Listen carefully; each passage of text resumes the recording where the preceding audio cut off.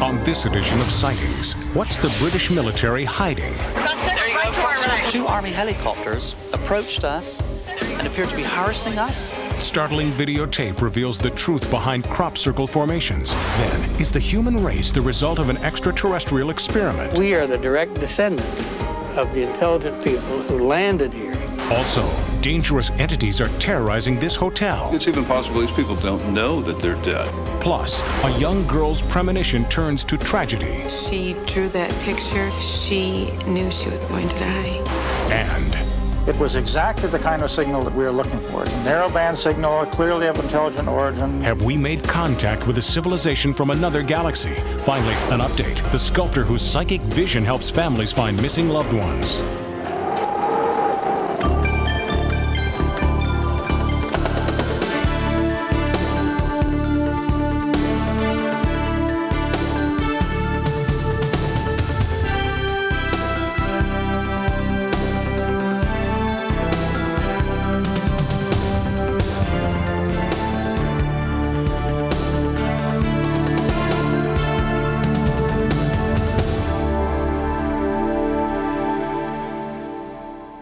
Welcome to Sightings. I'm Tim White. The ancient hamlet of Avebury in southwestern England is the site of two distinctly different supernatural events. In the Avebury area, more than 300 crop circles have been discovered since 1990. And then there are the bizarre glowing orbs that locals have dubbed the Avebury Mystery Lights. The two phenomena seemed unrelated until recently, when videotape was shot showing what appears to be a glowing ball of light actually creating a crop circle. This is a military helicopter circling a field in Avebury, England, as captured on home video. The researchers who shot this tape believe it is evidence that the British government is involved in secret crop circle research. Watch carefully as the helicopter hovers near a mysterious ball of light in the middle of your screen. In the field below, a crop circle. The crop circle activity in this area this year has been quite considerable. We have something in the region of 100 major patterns in Great Britain currently. Uh, over 90% of them are in this area once again. Some of the crop circles are made by, in my view, extraterrestrials. When you study the material over the last 40 years from many countries, um, you have solid metallic looking objects landing, taking off, leaving a characteristic uh, ground feature like a, an ordinary crop circle. It was like a, a clear sphere, but orange in, inside, with like thousands of lights spinning and rotating, and the whole thing was spinning. Most of the lights that are seen above the crop formations, and some of them are actually seen in the fields, there must be some connection, although at the present we haven't got that little thing that clicks the two together. Every night, skywatchers ring the hills around Avebury, waiting for a glimpse of the mysterious lights. The following amateur videotapes of unexplained lights in the night sky have all been taken within the last three years. It was only very short-lived, but for the five seconds it was there, it was tremendous. It was like looking at, at uh, something half the size of the moon, just sat on the ridge top, brilliantly glowing orange. They looked like orange balls of light. You could see that they were mushroom-shaped, revolving, uh, and emitting orange lights out from the bottom. So we were quite fascinated by it. I describe it as being spherical, uh, oval-shaped, uh, silvery white, slight orange tinge. It came over from the left to the right of the trees, then it went back, then it came back again. Then all of a sudden, it looked like it trebled in size and changed colour to orange. But then after that, we see the, the white ball came out from the side of it. And that went off to the left, and we never see that no more. The lights are there, and they're not aircraft, planets, or radio towers, but are they extraterrestrial craft? Most astronomers believe the Avebury Mystery Lights are a natural phenomenon, but so far they don't know much more than that. At the heart of a lot of genuine sightings of, of UFOs uh, are these balls of light cavorting around in the night sky, perhaps coming down very close, perhaps changing shape. It's quite possible that those balls of light are a glowing plasma. which is the same type mechanism that we do think is involved in crop circle formation. Plasma being very simply electrically charged air particles. And they start high in the Earth's atmosphere and come down towards the ground. So if you have plasma coming from high in the Earth's atmosphere, you should expect that it's likely to be swirling by the time it gets anywhere near the ground. And that's completely consistent with what we find in crop circles.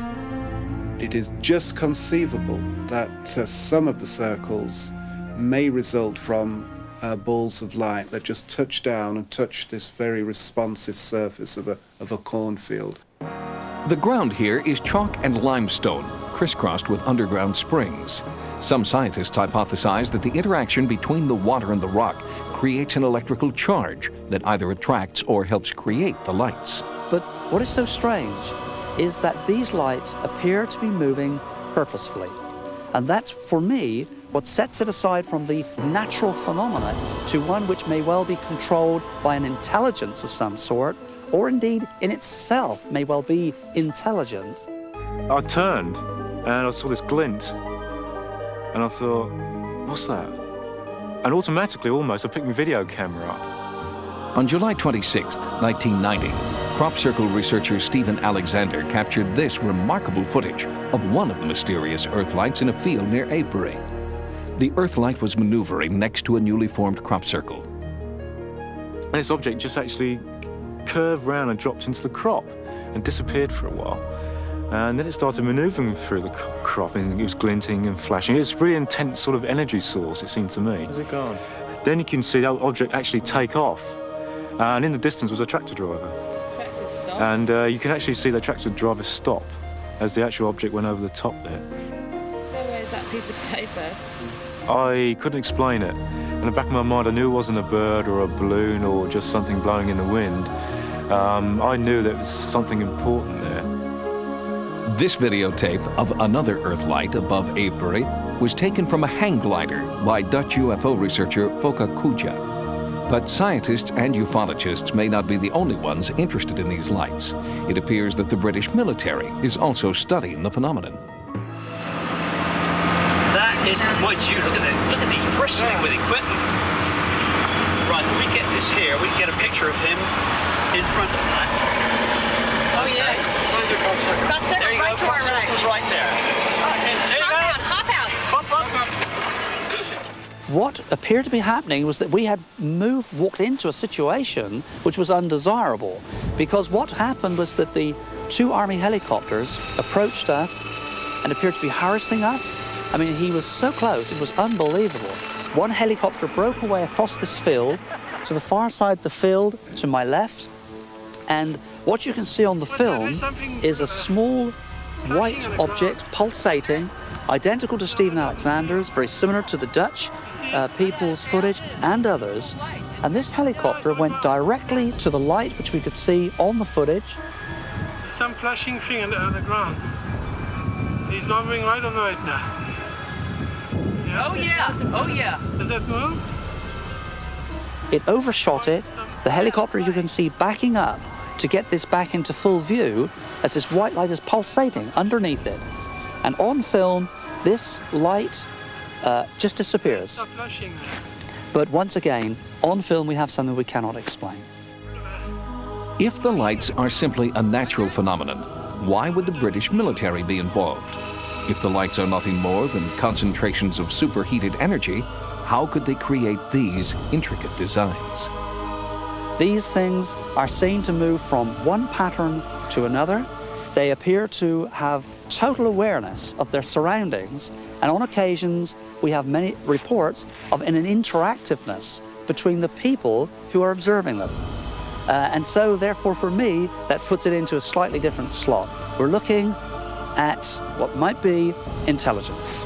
He's moving right or right now.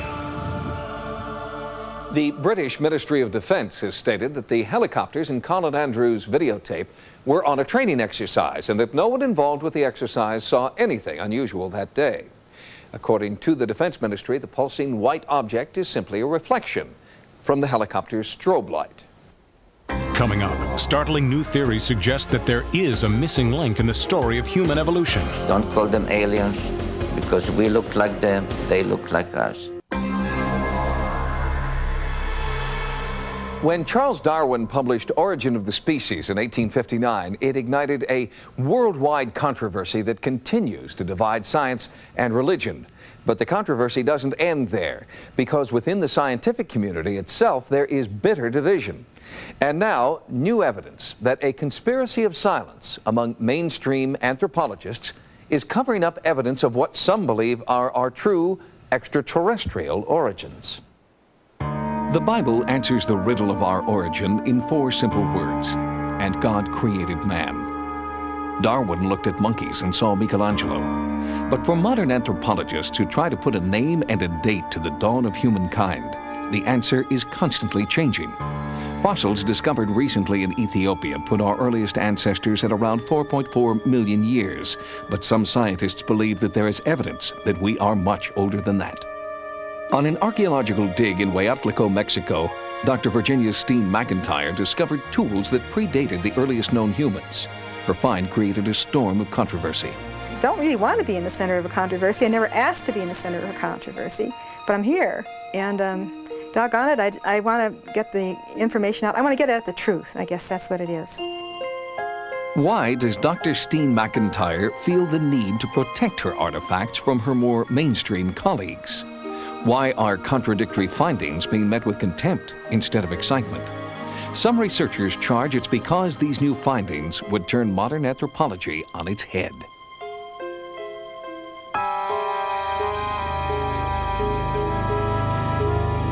I believe that we came from outer space. All the evidence suggests that human beings, as we know them, did not originate on this planet, but have come to this Earth from other dimensions.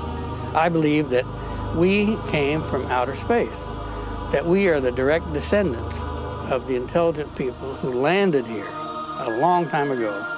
Gene Phillips is the founder and president of the Ancient Astronaut Society. He claims that museums are hiding thousands of artifacts that do not conform to their narrow view of anthropology. This is a, an exact replica of uh, an object that uh, is in the Smithsonian Museum, and they call it a stylized insect.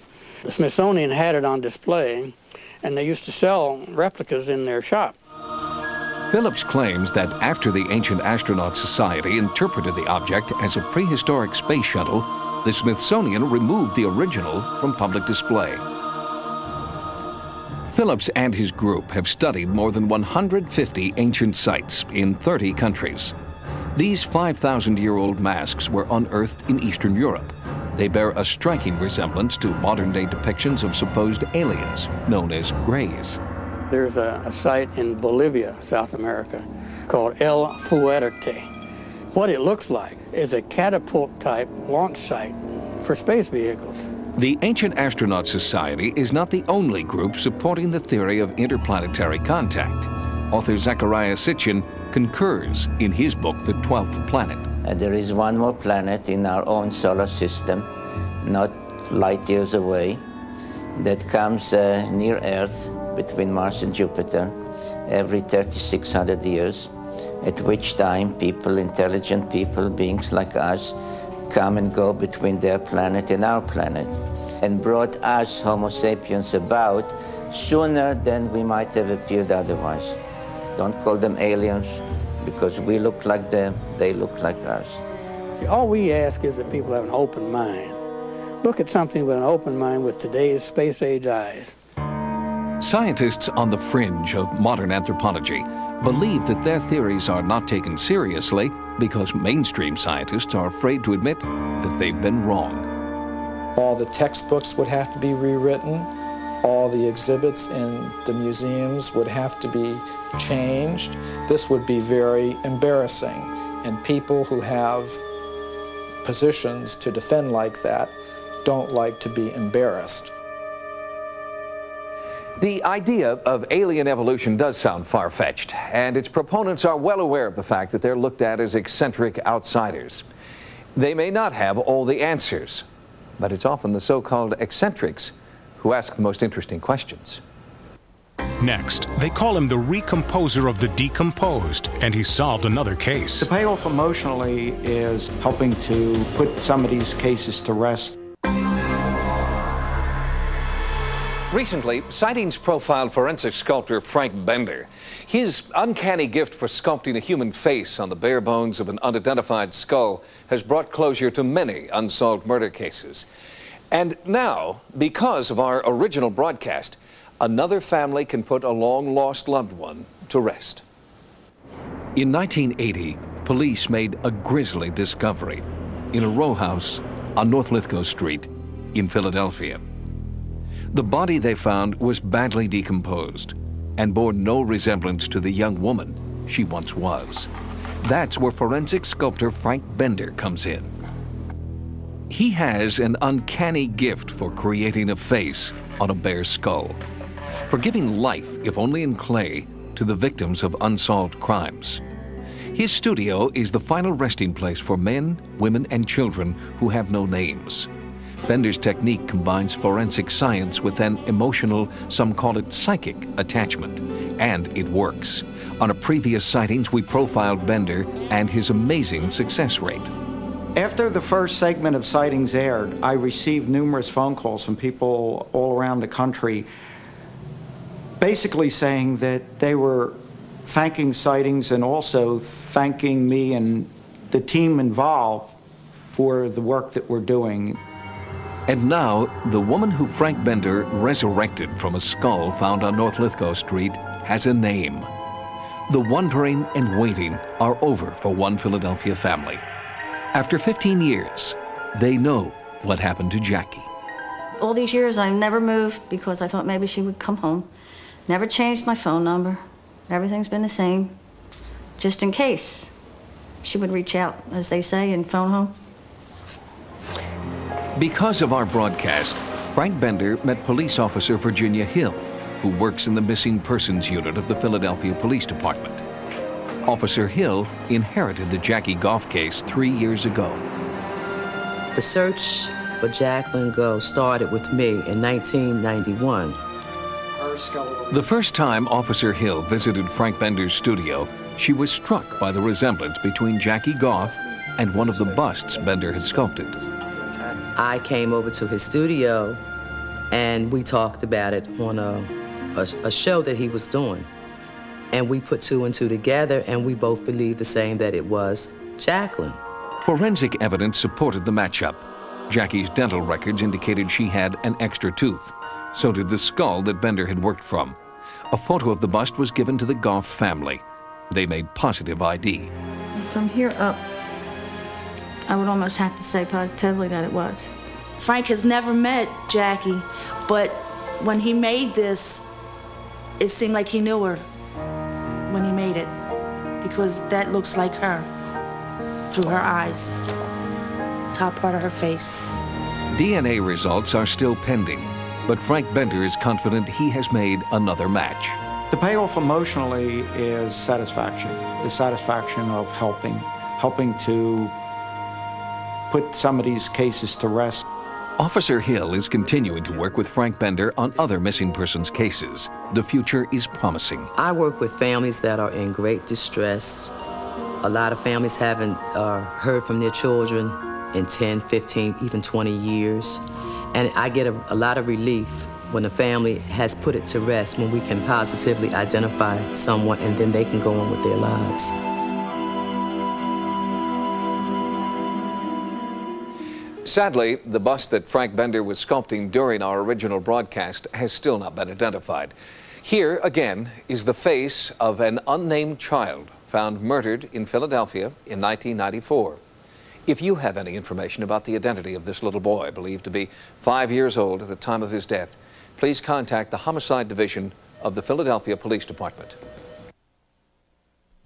Coming up, you can hear people screaming. Are dangerous spirits haunting this historic site? It was like walking into a ghost party.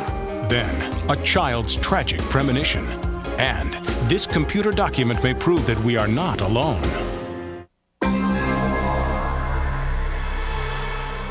1849.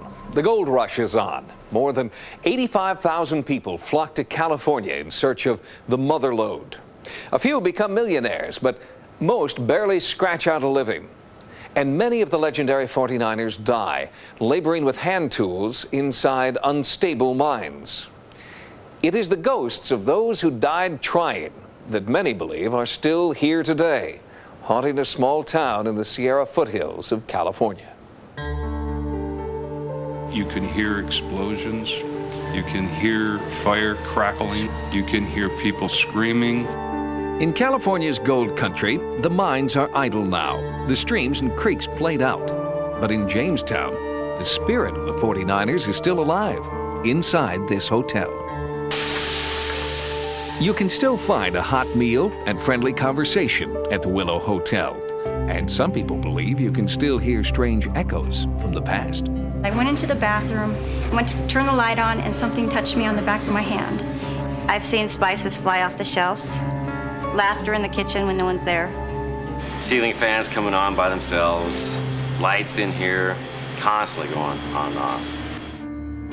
Why does the Willow Hotel seem to be the focus of so much haunting activity? Many people believe it's because of a great mine disaster that killed 23 miners here in 1862. Before the dust had settled, construction began on the Willow Hotel. It was built directly on top of the mine where so many had lost their lives. Jamestown tried to put the past behind it. The hotel thrived, hosting presidents and gunslingers. But the past did not go away. There's a lot of good here, but there's a lot of evil also. The Willow Saloon has been in constant operation since 1862, but for the past 10 years, no one has slept here. A series of mysterious fires have engulfed the sleeping quarters three separate times, and always on the same date in years ending in five. July 21st, 1955, July 21st, 1975. When the hotel burned on July 21st, 1985, no one wanted to rebuild. We smelled smoke all day. And then later that evening, there was, we spotted flames in the wainscoting over in the dining room. When the fire department came, they chopped the wall up and went through it and everything. And inside the wall, there was no electrical. There was nothing there to make that fire start. It just had started like um, from nothing. Then after we got the fire put out, then Kevin, the owner, asked us to stick around just in case it reignited. And at that time, we started hearing two scratches from underneath the bar floor by the waitress station. I took a fast exit out the door, and then shortly after that, out of this wall that I'm leaning against came like two massive exhales. Word spread about the strange fires at the Willow. A local news crew came in to conduct an overnight surveillance. We set the camera back on the tripod and we left it just sitting there. Nobody touched it. And the um, camera went to black and white. And uh, we had, elect- you know, electrical was blinking in and out. And um, the walls of the booth in, in the front there started rolling as if like an earthquake, you know, was making the walls roll out. We did play it back. Yeah, we had lines going across it and then it started rolling. And then ever since then, I haven't been able to really view it. It kept um, Our shutting the VCR. VCR off, ejecting the tape, and it was a brand new tape. That same television crew took these photographs and claimed they saw transparent entities hiding in the shadows. I just looked across the room and I just saw somebody standing at the booth. And as soon as I got up, he just disappeared. He was gone. That was the reason why I took a picture of the booth to see what would happen. And then it appears that there are two faces in the booth, one on each side. And one of the faces looks like he has like a miner's hat. Are these entities somehow responsible for the fires? Do they have a connection to the Great Jamestown Fire of 1896 that destroyed almost everything but the Willow? In the late 1800s, when the town was burning and they dynamited some of the other buildings to save this one, they said while they were dynamiting, a man was killed, and they said one of the kinfolk from the man that was killed is who keeps lighting this place on fire. Or is the haunting here related to the turbulent times the Willow experienced during Prohibition? In 1925, Gus Ratto, who was leasing the bar at the time, went upstairs to his wife's room and called to her. And when she opened the door, he fired one shot into her head and turned around and shot another into his own head. Since 1972, the place has belonged to the Mooney family. When Kevin Mooney took over four years ago, he was a confirmed skeptic until he had his own sighting. I'm getting ready to walk through the back door when I look up at the window and there's eyes like red like this, two red eyes looking through the window. And I just, my heart started going. Oh, God. I get outside, my heart's boom, boom, boom. I look around, there's nothing there. The Moonies had earlier contacted parapsychologists Nick Nocerino and Chuck Pelton to conduct a thorough investigation. You got something here that's very hot. Very hot. This is where the apparition should be. If, the, if there's going to be an apparition, it should be in this area. When you walk through this building, you still feel heat, you feel fire, you smell smoke. Pelton and Nocerino believe that there are three layers of hauntings here, caused by what they have termed residual thought forms. Well, thought form is, is probably an event that took place uh, that these people are reliving. And if you tie that into a quick death, had it been from a fire explosion, a mine cave-in, it's, it's even possible these people don't know that they're dead. No one can predict if the haunting forms of the past will appear again. But you can bet everyone in Jamestown will be keeping an eye on the willow every July 21st, ending in 5. The pattern of fires occurring on the same date nearly every decade since 1955 has all the earmarks of a classic arson pattern. That's what the Tuolumne County Fire Department originally thought. But their extensive investigation has ruled out arson as a possible cause. When Sightings continues, a child's premonition turns tragedy into hope. Katie was given a glimpse from the other side. Most psychical researchers believe that we are born with extraordinary powers of ESP, but as we grow older, our psychic ability is weakened by a world that teaches us to rely on empirical thinking. If this is true, it might help explain why young Katie Thronson had a premonition of death that tragically came true.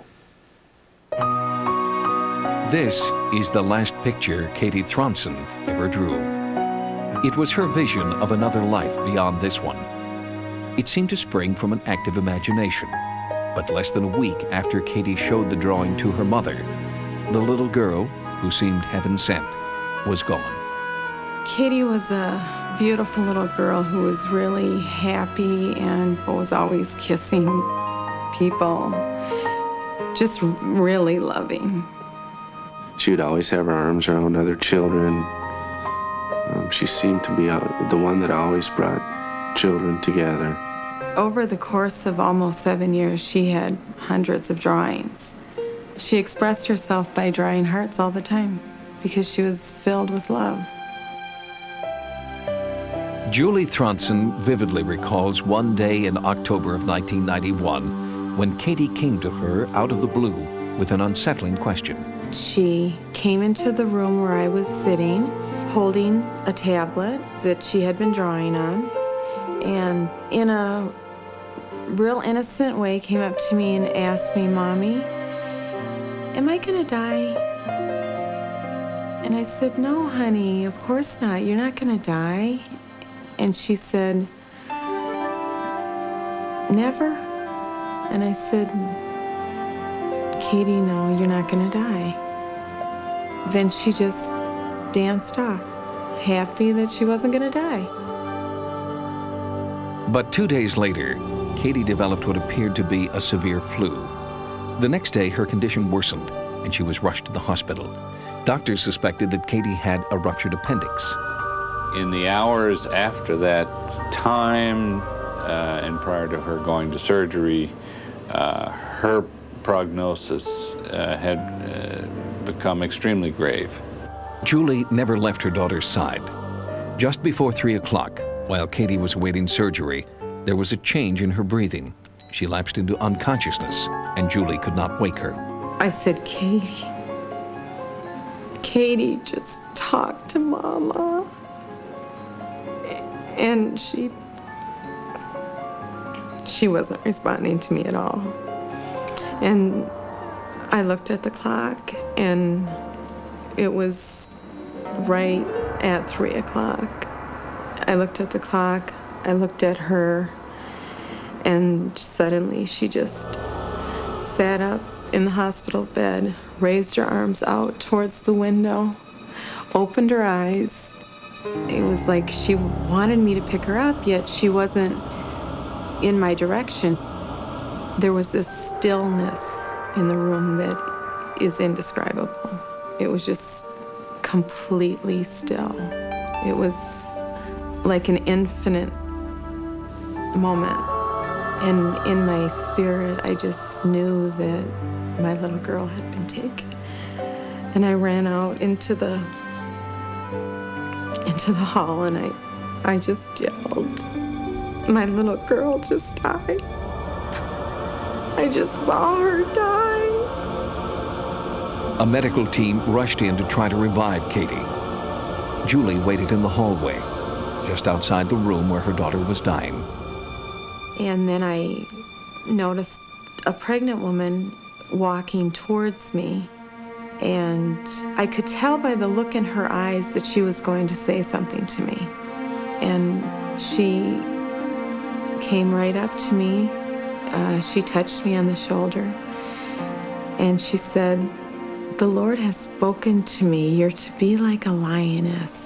Your little girl is okay. And I just felt this shiver go through my body. And I thought, if the Lord has spoken to her, then Katie is okay. Whether she's going to live or whether she's gone to God, Katie's going to be okay. The woman disappeared as if into thin air, and Julie never saw her again. Katie was being kept alive with machines. After three days, doctors pronounced her legally brain dead. The Thronsons made the agonizing decision to remove life support. The autopsy indicated that there was indeed appendicitis and that there had been extension of this infection locally to other organs uh, that were nearby. Officially, Katie died October 10th, but both Julie and her doctor believed Katie was gone much sooner. When I told the doctor that at that time she had raised her arms out towards the window, he said, I believe that that was the time that Katie left her body. And that although they artificially kept her alive, she had died at 3 o'clock. It was six-year-old Katie who was the first to be laid to rest in the family plot. It was an unspeakable tragedy from which the Thronsons never thought they would recover. But a few months later, there was a ray of hope stuffed inside a cardboard box. Julie found the tablet that Katie had been drawing on just days before her death. She had drawn a picture of these angels surrounding a light, and uh, the cloud and the moon had sad faces, and all the angels had sad faces, and some of them even had tears coming down their face. The picture said everything. When I saw it, I knew without a doubt that Katie had a premonition. Julie drew strength from that cherished drawing. Then, five months after Katie's death, a picture appeared in Life magazine that seemed to confirm Julie's belief that her daughter's drawing was a premonition. This 19th century engraving was part of an article about life after death. The depiction of a welcoming vortex of light was strikingly similar to Katie's own vision. Both pictures have a circular pattern that resembles the tunnel of light commonly reported in near-death experiences. Coincidence? Or did Katie receive a divine message? She knew she was going to die. She drew that picture. She asked me, Mommy, am I going to die? Whether or not she knew the meaning of it, I believe her spirit did. Author Dr. Gerald Jampolsky is a child psychiatrist who counsels bereaved families. After Julie Thronson saw the Life magazine article, she wrote to Dr. Jampolsky and asked him to look at Katie's drawing. I pointed out that at uh, 3 o'clock, uh, it looked like one of the angels was going toward, toward the center, going toward the light. I was like amazed for a minute, and he continued, but I'm thinking, he doesn't know that Katie died at 3 o'clock. There's no way he could know that. Julie also tried to find the pregnant woman who had comforted her. The hospital gave her the names and phone numbers of all the women in the maternity ward that day, but none of them remembered speaking to Julie. She was obviously an angel. There was some kind of a message there of life and death and birth. The cycle of death and birth continues. There is a new life in the Thronson family. Little Cody was born on October 7th, 1992, one year to the day after Katie died. It was an uncanny coincidence. I was once told a definition of coincidence that I've always found very helpful. A coincidence is a miracle in which God wishes to remain anonymous. That makes a lot of sense to me. When the Thronsons take Katie's brothers and sisters to her grave, the family remembers and talks about what they believe is God's plan. It was a gift from beyond, maybe a gift from God. The impact that drawing has had on our life is just beyond words. We have this to share with people. We have the hope to share with people that there is a beautiful side to all of this. It helped us in the healing because it, it, it gave us both peace. I felt honored that Katie was given a glimpse from the other side. There's just the, the fact that there's life after death. And even though we can't see it, it exists. Just a few weeks ago, the Thronsons were in a serious car accident. Fortunately, everyone's all right. They're recovering at home. But something strange happened during that crash. Three-year-old Christopher told his mother and father that right after the moment of impact, he saw Katie. Up next. It was uh, five to six times stronger than any signal in the past. After receiving what could be an extraterrestrial message, this facility could be shut down. The radio telescope at Ohio State University in Columbus is nicknamed the Big Ear. Its job is to listen for anomalous sounds in the cosmos that might be evidence of intergalactic communication. If someone out there is trying to get our attention, the Big Ear is probably the telescope that will bring the message to us. Man has always wondered, uh, are we alone in the universe? Are there other intelligent beings somewhere that we might uh, perhaps converse with at some point, or at least learn of the existence of. The universe has no beginning, no middle, and no end. In such a limitless ocean of planets, moons, and stars, are we really the only life forms searching outer space? Is another civilization trying to make contact? Astronomers operating this telescope believe contact has been made. It was exactly the kind of signal that we were looking for. It's a narrowband signal, clearly of intelligent origin, clearly not interference, not any of those things. In the late 1950s, Ohio State University began construction on what would become the world's largest radio telescope. It was designed to pick up and record the noises of space. And for over 15 years, it cataloged a symphony of static pops and hisses that were emanating naturally from satellites, stars, and explainable sources. Then, in the mid 1970s, the radio telescope known as the Big Ear received NASA sponsorship and began listening for evidence of extraterrestrial intelligence. In 1977, they got their first hit.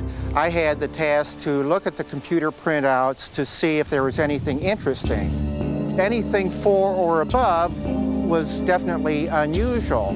Well, this was the equivalent of 30, and so it was so strong uh, five to six times stronger than I had seen any signal in the past that I was astonished and immediately wrote the word wow exclamation point in the margin of the computer printout. The very strange thing is we have these two beams in the sky. We saw it in only one of those beams.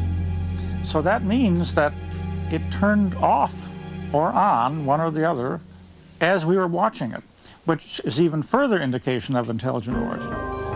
The tantalizing thing is we went back and looked hundreds of times later and it was never there again. So we will never know exactly what that was. It could have been from some other civilization. The spontaneous signal became known as the Big Wow. It immediately sparked serious debate among astronomers. No one could explain the origin of the signal, but many scientists would not accept it as proof of intergalactic communication. Others insisted the Big Wow was Earth's first contact with an extraterrestrial intelligence. The debate continues to this day. The fundamental problem in a scientific experiment is if you can't repeat it, it probably, you, you can't say it exists. Dr. Louis Friedman does not believe that the Big Wow is definitive proof of interstellar communication. But he does believe it is an important piece of a larger puzzle that the Big Ear will someday solve. Nonetheless, it has over the over the time made very useful observations in the uh, in the whole search for extraterrestrial intelligence. But despite the Big Ear's scientific contributions, the radio telescope's future is on shaky ground. Congress did cut out the funding uh, last year, and that has made the SETI program really disappear from all government activities. Because the subject deals with extraterrestrial life, it's a subject that is obviously capable of ridicule. And Congress uh, didn't uh, continue the funding because they were susceptible to those kinds of jokes. Unfortunately, the land the Big Ear sits on is becoming more valuable than the radio telescope itself. Without federal funding, it's up to private organizations like the Planetary Society to stave off destruction of the project. The idea that someone out there may be transmitting and we're not listening is not one that we in the Planetary Society are comfortable with. Currently, everyone who works on the project works for free the Big Ear is supported by volunteers who don't want to see the project die. We have people from all walks of life. I mean, we have an attorney, we have physicists, astronomers, a chemist, school teachers, a jukebox repairman, people who just do anything that you can imagine to volunteer here. The Planetary Society encourages anyone with an interest in the heavens to join them. Volunteers who aren't physicists or astronomers learn from those who are. If it weren't for someone like me coming up and moving, repointing the telescope a couple times a week, then no such survey uh, would be done. Their equipment is sadly outdated, but the Big Ear volunteers are undaunted. Who knows when one of them will be able to write wow on a computer printout. There's no telling what um, extraterrestrial civilization's power is, so even the weakest equipment might be able to pick something up. Eventually they will transmit, and I think we'll hear it if not in my lifetime, then the next one. It seems unlikely that only here, in this very typical place, that life would have formed. In fact, if we go on searching for a long period of time and never find anything, that will be an even stranger situation. But we will have to then understand why did life form only here and nowhere else. We want the Earth to be listening. We have a lot to learn in this area. Who knows where we'll strike a, a little gold in those hills. The land underneath the Big Ear is leased to Ohio State by a land development corporation. The university's 10-year lease expires next year, and there are rumors that when it does, one of the world's tallest radio telescopes will be dismantled to make way for a golf course. Sightings has expanded its America Online area. Keyword sightings when you log on for access to sighting stories, images, and events. To subscribe to America Online, call 1 800 591 3344. And you can still reach sightings 24 hours a day at 1 900 933 7444. Until next time, remember no mystery is closed to an open mind. For Sightings, I'm Tim White. Next on Sci Fi The Sentinel.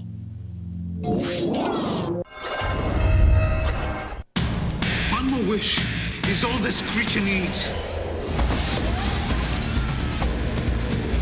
Careful what you wish for. From Wes Craven, Wishmaster. Wednesday at 9 p.m. on Sci Fi.